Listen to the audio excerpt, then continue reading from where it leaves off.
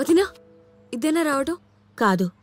మీ ఇద్దరి మధ్య దూరం దగ్గరైనప్పుడు నిన్నే పెళ్ళి చేసుకోవాలని నీతోనే వాడి లైఫ్ అని నిన్ను చదివించుకుని వాడి కెరియర్నే పాడు చేసుకున్నాడు నా తమ్ముడు.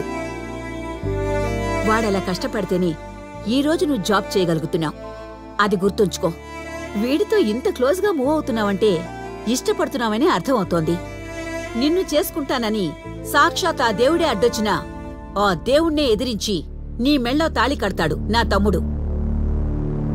ఎల్లుండే నిశ్చితార్థం. ఇదిగో బట్టలు. నచ్చింది సెలెక్ట్ చేసుకో. వెళ్ళు. ఆగు. వయసు అందం పర్మనెంట్ కాదు. పర్మనెంట్గా ఉండేది క్యారెక్టర్ ఒకటే. దాన్ని పోగొట్టుకోకు. మోసపోయినా పర్వాలేదు గానీ ఆడది మోసం మాత్రం చేయకూడదు. అర్థమైందా? వెళ్ళో.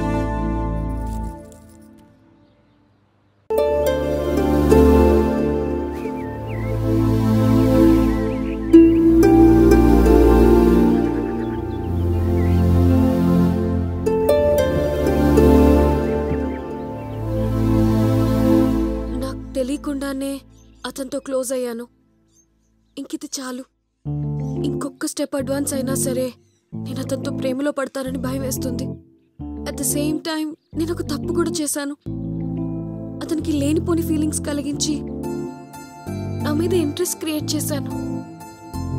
ఇంకిది ఇక్కడితో ఆపేయాలి.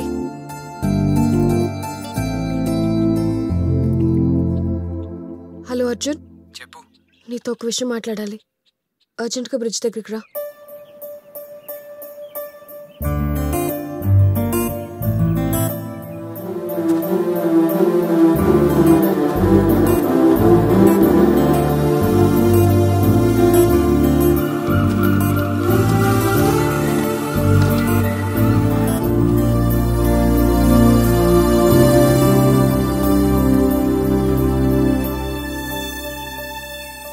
బ్యూటిఫుల్ ప్లేస్ను? చూడు అర్జున్ చిన్నప్పుడు మన మధ్య మెమరీస్ నాకేమాత్రం గుర్తులేవు.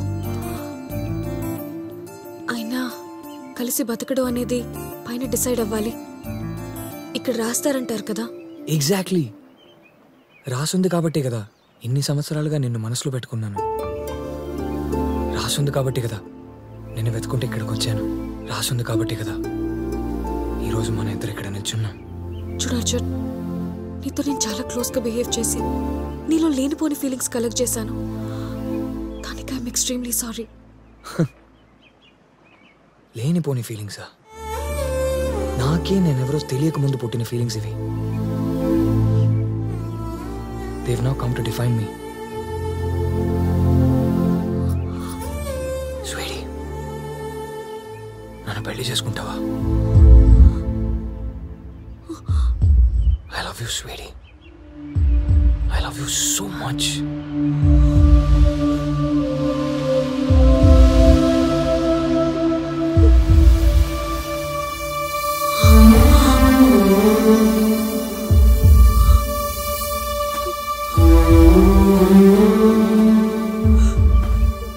ఏం చెప్పకుండా వెళ్ళడానికి రమ్మన్నావా?